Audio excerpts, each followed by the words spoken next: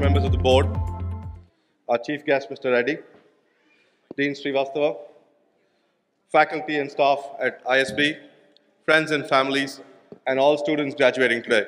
A very good morning. It's my privilege and honor to represent PGP Max's class of 2018 here today. As our beloved CR would say very often over the last 15 months, on behalf of the cohort, I, I welcome you all to this graduating day. Apparently, there are many speeches following mine, so before it starts to resemble the congestion in Mumbai's airport, I'll try and keep this short for you. Besides the fact that we learned a great deal, the last 15 months have also been a huge roller coaster ride. Some very big highs, some rough times, breakneck speed literally, and significant amounts of nausea. But it's a lot more than that. We also changed as people, and we also changed as professionals. The first few months taught us humility, and that's putting it mildly. The established limits to our capabilities were tested and very quickly redefined. We discovered new reserves of energy, so much so that beyond a point we didn't need Red Bull or other beverages to keep us awake.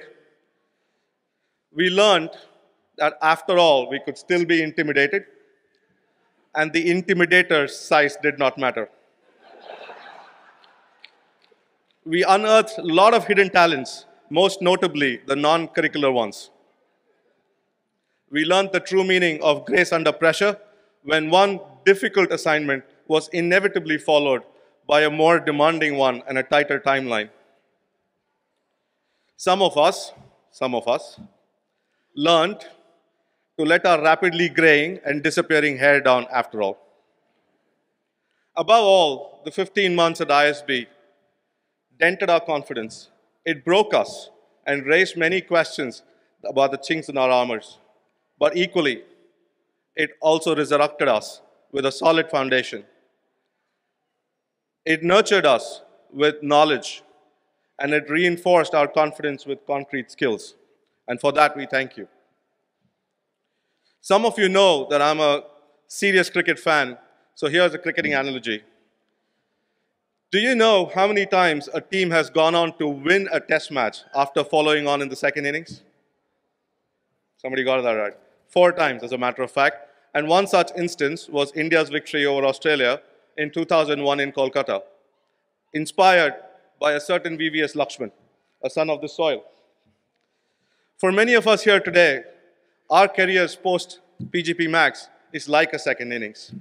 So irrespective of whether you've had a fabulous outing in the first innings and are pushing home for victory, or you're following on after a not so great first outing, I'd urge all of us to trust in our talents, to trust in our hard work and those of our coaches, trust your experiences, keep your moral compasses aligned, get out there and let's make it happen. And while we're at it, I'd urge all of us to please find ways to give back to our local communities and to our beloved institution here. Class of 2018, congratulations, we did it. Thank you and God bless.